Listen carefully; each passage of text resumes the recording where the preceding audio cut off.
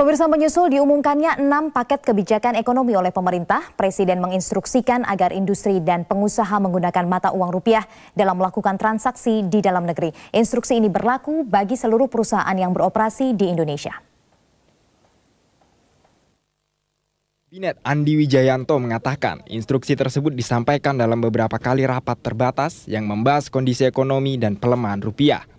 Instruksi ini juga sudah disampaikan kepada seluruh lembaga kementerian dan institusi terkait. Andi menambahkan, pada dasarnya instruksi Presiden merupakan bagian dari upaya pemerintah untuk mengimplementasikan secara penuh undang-undang tentang mata uang rupiah. Pada dasarnya yang diinginkan Presiden adalah uh, uh, implementasikan secara penuh undang-undang tentang penggunaan mata uang rupiah di dalam negeri. Ada pemanggilan jika mereka, mereka masih menggunakan dolar? Atau teguran misalnya?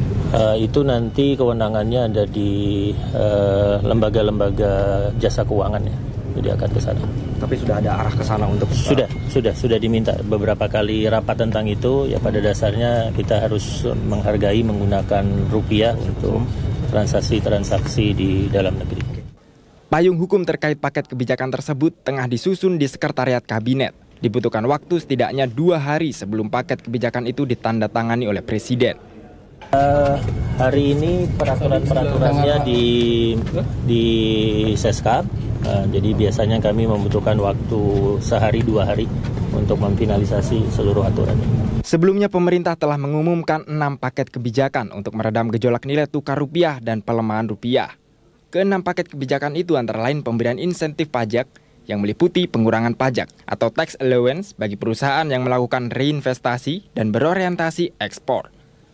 Menerapkan bea masuk anti-dumping untuk melindungi industri dalam negeri, pembebasan visa bagi wisatawan asing dari 30 negara, meningkatkan penggunaan biofuel dari 10 menjadi 15 persen, serta membentuk perusahaan reasuransi domestik. Anggia Sibuan, Gilang Kelana, Metro TV.